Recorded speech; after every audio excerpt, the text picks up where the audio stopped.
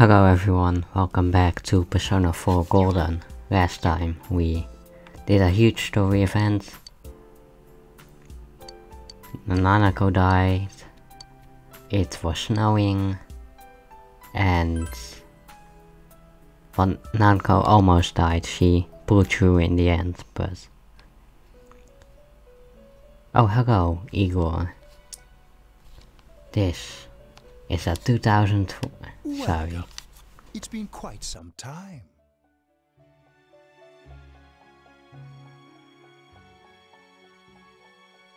Do not be alarmed. You are fast asleep in the real world. I have summoned you within your dreams.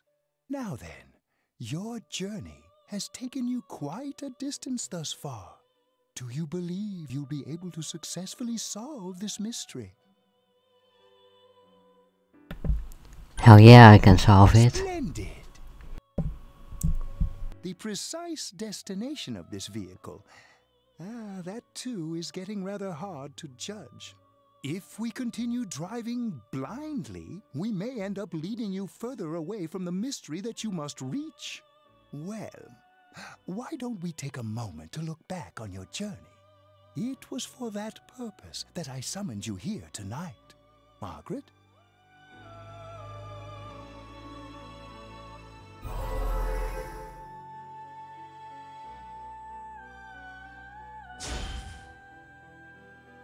What's right? What you should choose to do in life? The answers to those things lie within you. We are experiencing the words engraved into your memory during your journey. Failing to understand and failing to listen are rather different things.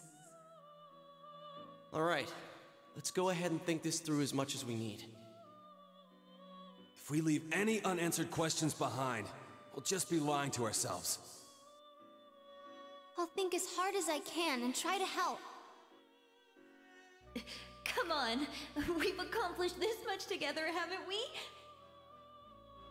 Right. Together. And it seems you have comrades with you as well. Those heading in the same direction through this dense fog. I want to add something here. I think that if you um, if you uh, max out more social links, then there will be more voice clips here where Sayoko is, but I haven't really I haven't really maxed out any social links except for uh, Chie, Marie, and Dojima, so very few uh, voices in my head.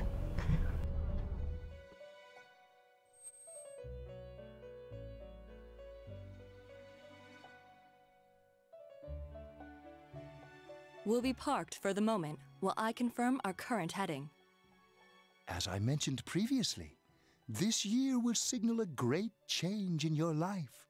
Though there isn't much time left, it can be worth your while to take the time to stop and reflect. People are like water flowing in a river. There is only one stream, but all who pass through it are affected differently. Some travel fast, some change their course, experiencing countless events as they travel down the river of time. Just so. The state of this room reflects the scenery of your heart. Perhaps this may be a time for contemplation rather than action.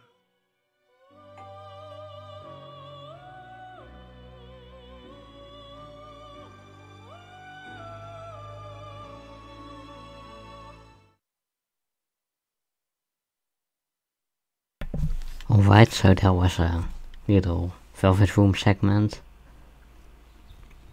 And now we have more story events. And we've been sleeping until now.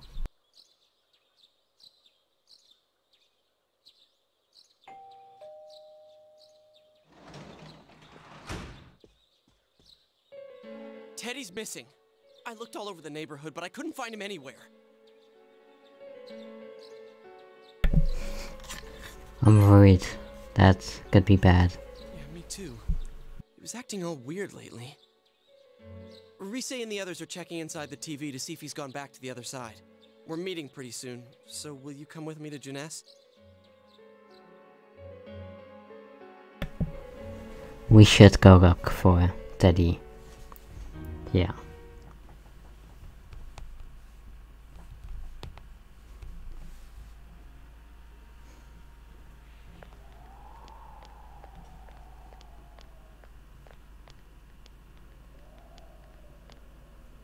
It's no use, man. We can't find him. No luck for me either. I didn't sense anything over there. The fog's so dense it might be affecting my readings. I wish I could do better.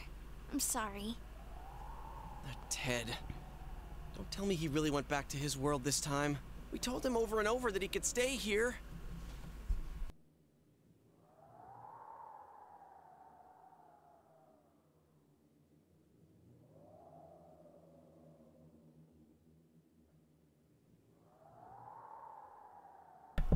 Um, let me look up a guide because I don't trust myself. I I've, I think this should not matter. But like I said, I don't trust myself enough to have these answers right, so um here Judgment Arcana. Um yeah, it doesn't matter. He'll be back for sure. Yeah. We'll just have to believe in him for now. He plays dumb a lot, but he's attached to us deep down. He wouldn't disappear without saying anything, right? I'm worried for Teddy myself, but let's trust in him and await his return. Right now, we must concentrate on the case. It won't be long before Namatame is transferred to another location. We must hurry, or we will miss our only chance to get his perspective on this. You know, I've been thinking about the case since, but something just doesn't seem right. Let's quickly review the facts. Of all the victims, only two were killed Miss Yamano, the announcer, and Saki-san. From the documents we found in the car, we know Namatame had some sort of dealings with them. After that, there were multiple attempted murders in which we were targeted. It was only when he took Nanako-chan that we caught him in the act, identifying his modus operandi in the process. When I hear you put it like that, sounds like the dude's guilty. As a result of Namatame's arrest, the police admitted that Mitsuo Kubo was a mere copycat killer. Back up to yesterday. Remember when you said Namatame didn't have a motive to kill the announcer? That's what's bothering me. Right. Either he's completely nuts, or we're misunderstanding something. You lost me. She's trying to say that if Namatame is sane, then there may be facts in the case we don't know about yet. Sane or insane? Sounds like a play I saw before. When he talks about saving people, what does that actually mean? I don't think there's any doubt that it includes kidnapping people and throwing them into the TV. Could he mean saving them through death? He did call himself a savior and said that the other side is a wonderful world. So they'll be saved if they die? What a bunch of crap! The bastard should have gone and saved himself. What do you think, Senpai? There's something else. If you think about it normally, it's gotta be him. but there ain't nothing normal about that world anyways. There's something I've been wondering about for a while. When we first encountered him, he said, You're the ones I saved. Don't worry, I'll save this girl too. So, um, if he saves people by killing them, did he save us too? Wouldn't he actually have failed to save us? You raise a good point. If he thinks that salvation comes only through death, his words to us make no sense. And another thing, the Namatame who appeared on the Midnight Channel said he failed to save Nanako-chan. Well, maybe he really was trying to save the victims by putting them inside the TV. C come on, don't get all quiet like that. You guys know I just say the first dumb thing that pops into my head. the possibility that he truly intended to save us. But he's still the one who threw in Saki-senpai and that announcer, right? Sure, we haven't nailed down his motives, but that doesn't change the fact that he killed them. Or what? You think someone else was involved? What makes you think so?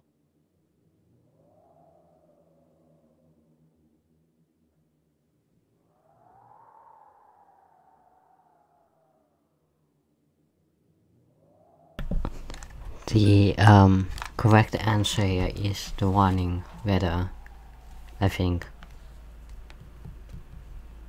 I think it should. Yeah, the warning letter. Warning letter? Oh yeah! Whatever happened to that thing? If Namatame's the killer, he must have been the one who wrote it, right? Let's review them.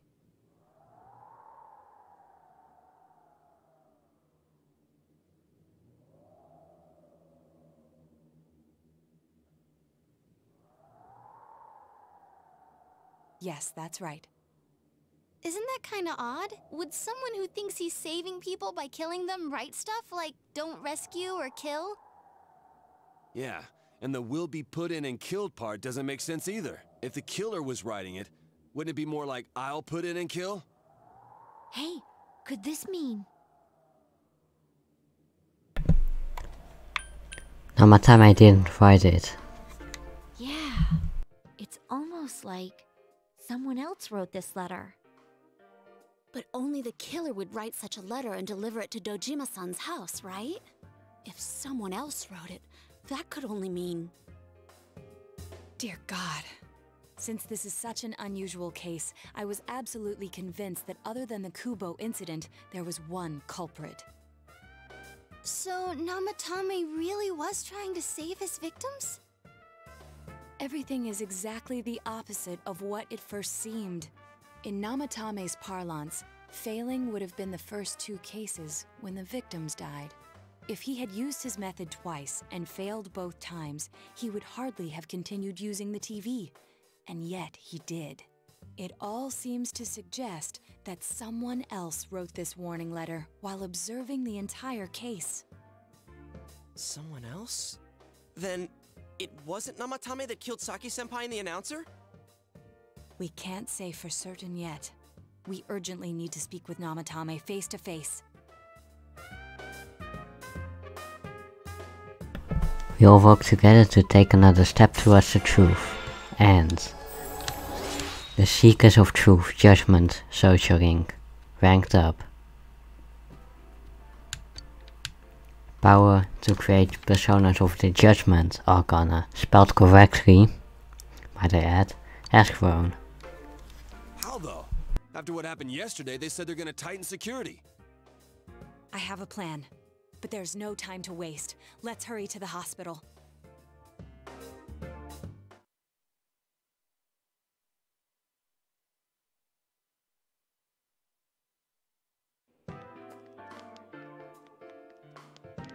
Hey, this place is off limits. I'm a consultant with the police. I'd like a few words with Namatame-san. May I go in? This is Unit 252, requesting confirmation on an ID. Name of Naoto Shirogane. Huh? Ah. Understood. I see. Well, you're on the list. I can give you a few minutes, but I'll have to record your conversation with him for security purposes. Not that I expect you'll get anything coherent out of the guy. He's been spouting nothing but gibberish. I'd like him to accompany me as well. He has no identification, but this is an emergency situation, and he's here in Detective Dojima's stead. Huh? Detective Dojima sent him? I wasn't informed of this. I'll vouch for his identity. Well, I guess it's better than dealing with the man himself. We have our hands full with the transport procedures, so the last thing we need is Detective Dojima running wild. Detective Adachi is busy somewhere too. This is Unit 252. Huh? I see. Has something happened? There's something about a suspicious object out in the lobby. Ah, well then, this works out nicely. You should back up your colleagues downstairs. We'll keep watch over Namatame-san. A disturbance in a hospital lobby, after all. It sounds serious. If anything happens, hit the nurse call button. I'll leave the rest to you. Understood. Please be careful. I knew they were undermanned, but I didn't expect it to go this smoothly. Wow! There's nothing much inside that suspicious object, so he won't be gone long. All right, and now's our chance to talk to Namatame.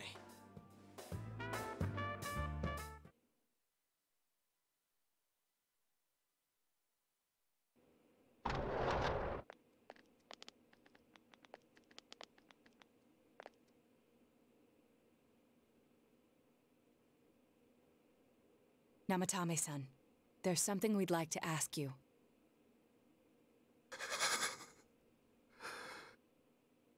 It's tempting to think that you were the culprit behind this entire case, and to be honest, there are many in this town who hope you are, but we are here to learn the truth. So please, answer our questions. Huh? He understands what you're saying, that's good. What should you ask him? Well, uh, it doesn't matter what you pick here.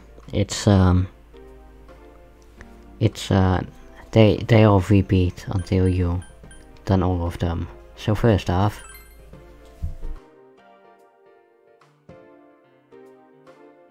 Huh? Me? Hmm. did you kill those two girls?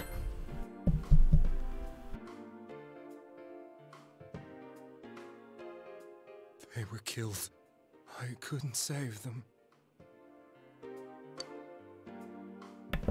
Is saving killing people, even though we already know the answer from that? Probably not.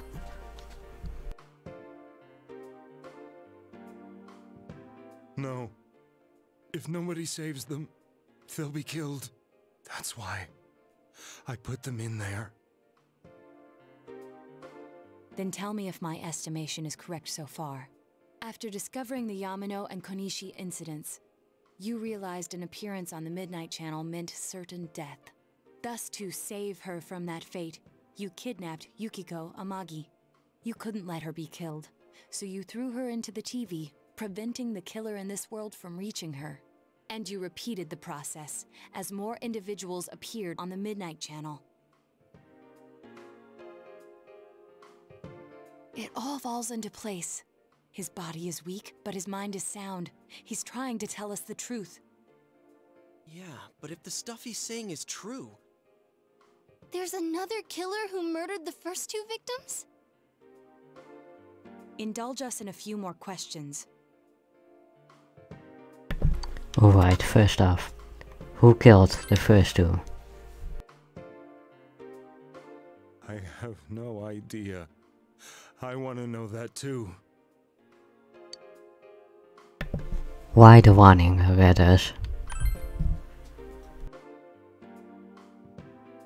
What are you talking about? Why did you enter the TV? I didn't know. I never thought it would be that kind of place. As I thought. You believe me? Did they find him? Did they find the one who did such cruel things? Mayumi. Please calm down. Our ability to find the culprit rests on you. We know about the other world. In fact, we're the only ones who can fully understand what you have to say. Only you? we did blame you for everything at first. But now I think we can accept whatever you got to tell us as truth. Please, tell us everything you can, calmly and slowly. You're willing to listen? Do my story?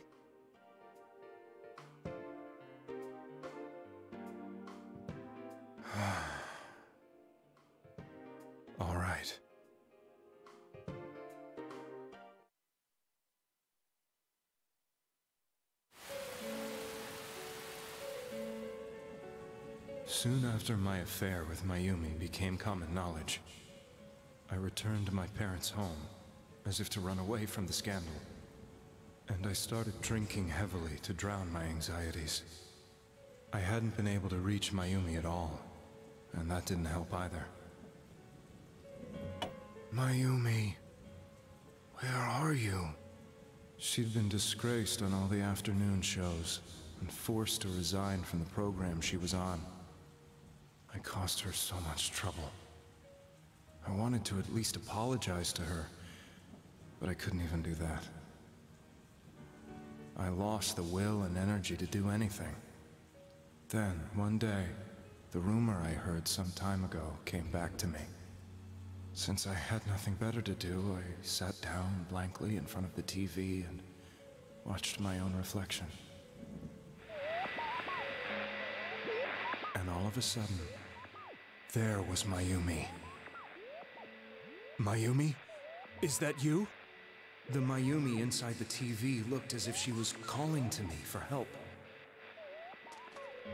Mayumi? Mayumi! When I reached out unthinkingly to touch her, my arm disappeared into the TV, as if I had dipped it into a pool of water. I was so shocked that I lost my balance and nearly fell face first into the TV.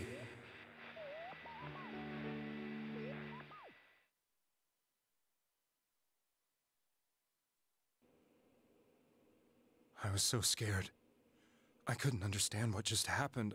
I thought maybe I'd gone insane. In the end, I decided to think of it as just a dream, and I went back to the city the next day after finishing work. The next afternoon, when I got to work, I was fired on the spot, as I expected. That wasn't what broke me, though. It was Mayumi being found dead, and not just that, but it had happened in my hometown.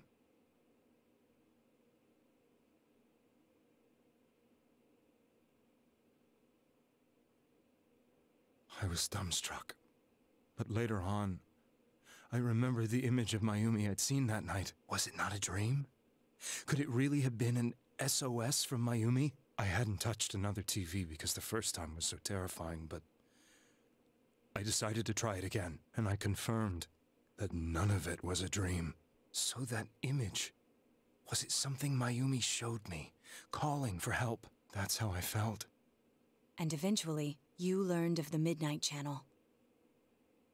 I remember that when Mayumi was alive, she was chasing a rumor about some bizarre TV program. I'd heard about it before, but I thought it was just an urban legend. But then Mayumi appeared on it, and later turned up dead. The more I thought about it, the harder it became to believe that the two events were unrelated. Soon after that, I came back to Inaba to answer the police's questions. I'd lost my job, and I wanted to know the truth of Mayumi's death for myself. Then, on another rainy night, someone else appeared on the Midnight Channel.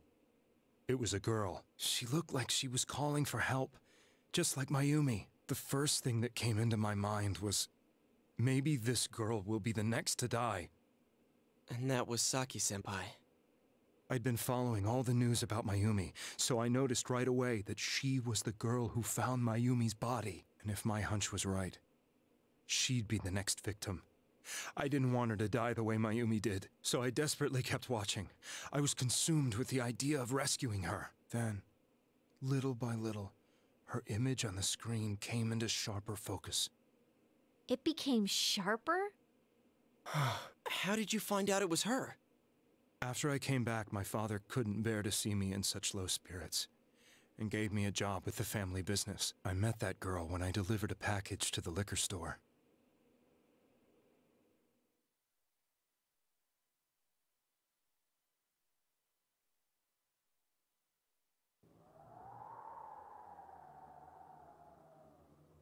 After agonizing over it, I decided to meet her and told her to be careful.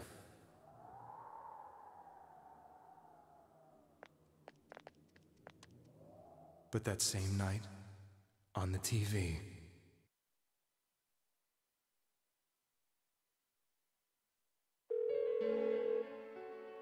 she looked as if she was being engulfed by some black shape. She was writhing in pain. That's why I warned her. Why won't she pick up the phone? Come on! Please!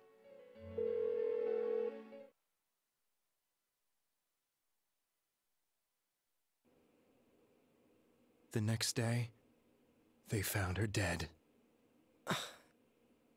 I knew she was gonna be murdered, but I couldn't save her. I blamed myself, thinking there must have been something I could have done. There was no one who depended on me. Nobody at work, not even my wife. Mayumi was the only one who accepted me for who I was, but she was murdered. And the same person killed another girl. I was. I was beside myself. I couldn't forgive myself for doing nothing. You really did love Miss Yamano. Yes, from the bottom of my heart.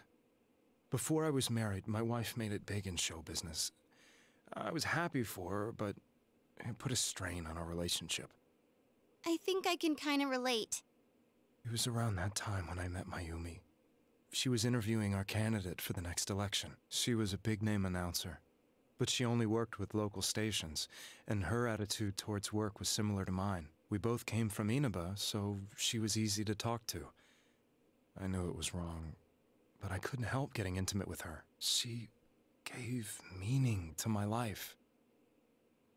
Soon after Saki san was found dead, yet another girl appeared on TV. That was you.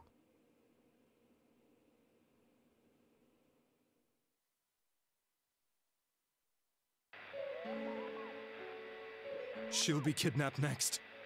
And murdered. I can't let her end up like Mayumi and that other girl. This time, I'm gonna do something. My opponent was a murderer who left no clues to his identity. I thought hard about what I could do to protect her from someone like that. I'll never convince her. If she gets suspicious and they arrest me, who'll save her then? The girl inside the TV looked as if she was smiling at me. And that's when it hit me. I apparently had the power to go through the TV screen to the other side. Then, what if I put her into the TV and give her shelter there before the killer gets her? What are you trying to tell me? That it's safe over there? Is that it? The girl inside the TV seemed to smile at me again. And I thought, no matter what kind of place it might be, it's better than being slaughtered. Once things calm down, I could just let her out again. If she's inside the TV, there's no way they can find her. It felt as if everything was starting to come together in my mind. Could it be that Mayumi gave me that power to prevent any more victims from meeting her fate? Was it my mission to save people? But there was a big problem. If I explained the situation to the victim, they wouldn't understand. I had already tried that and failed miserably. It seemed the only thing I could do was to take them away. If that was my mission, I'd just have to do it. Or so I thought. Mayumi, please lend me your strength.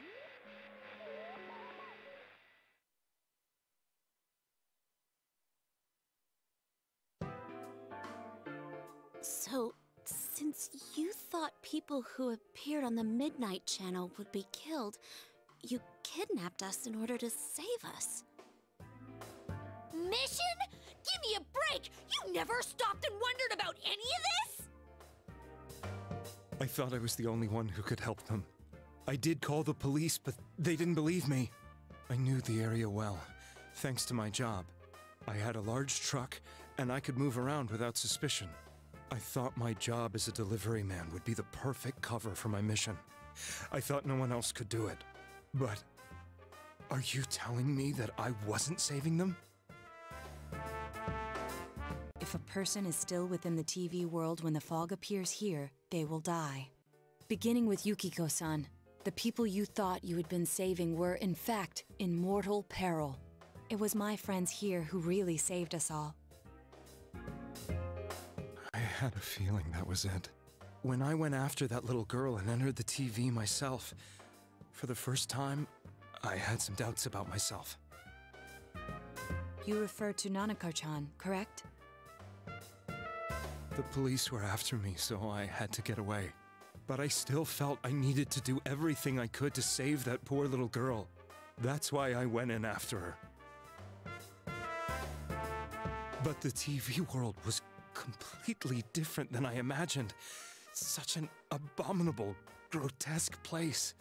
I knew that the three of you who I saved went back to your normal lives, so I didn't realize how terrible that world was.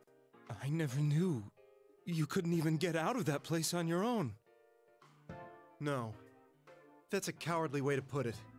I'd probably already begun to realize that it was a dangerous place. If I hadn't, I wouldn't have gone to see you all. See us? Wait, are you talking about the concert we did at Junes? Yes. I wanted to know why the ones I saved were all hanging out with each other, and how much you remembered. But in the end, I couldn't bring myself to say anything and ran home. I must have felt too guilty. but all the doubts and anxieties I'd been unconsciously suppressing exploded out when I entered the television myself. I thought I was going insane. I probably did. And you know the rest. When I came to, I was lying in a hospital bed. You really were trying to save people. But I ended up doing just the opposite. What a fool. I always wanted to enter the world of politics and become useful to society. But after losing my job and the woman I loved, all I had left was this power. I convinced myself that world was some sort of sanctuary, and I secretly believed myself to be a hero.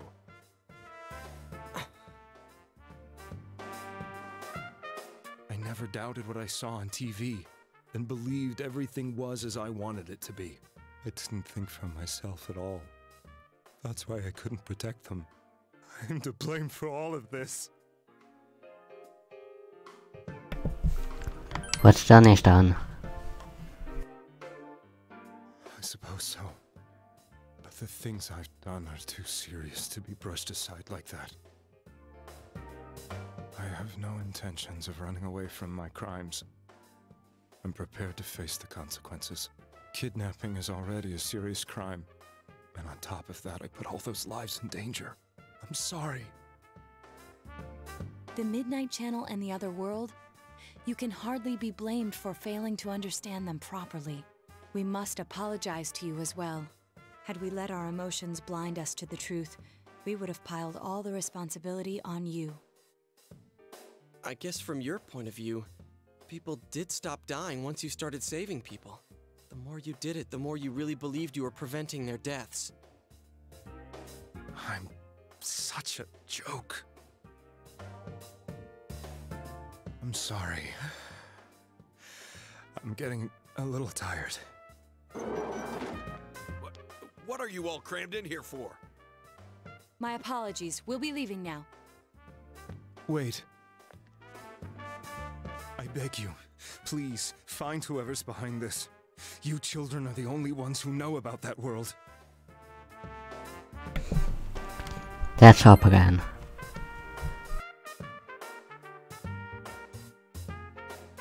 It's all clear now. He never committed any murders. It was another party who threw the first two victims into the TV.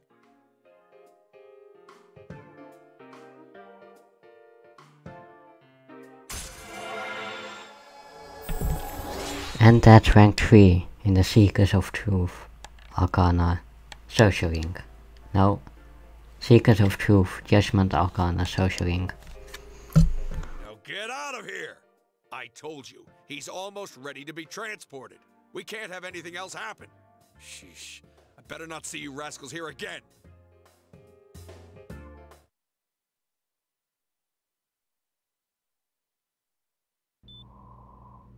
Nanako-chan looks like she's in pain. She's fighting for dear life. This was the last place we saw Teddy, right? He was so worried about her. How can he flake out like this when we have to find the real killer?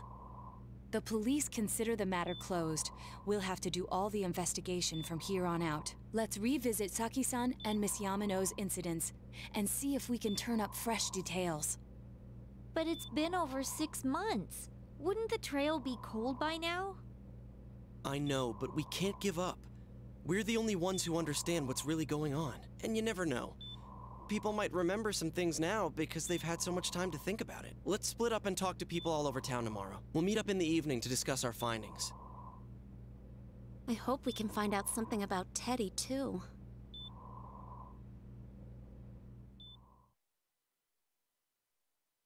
Tomorrow, you'll all be going out to talk to people. And yeah, we should rest up. Hmm. This game is getting really interesting, I love it. How long have I been going on for? Yeah, 35 minutes, so see ya.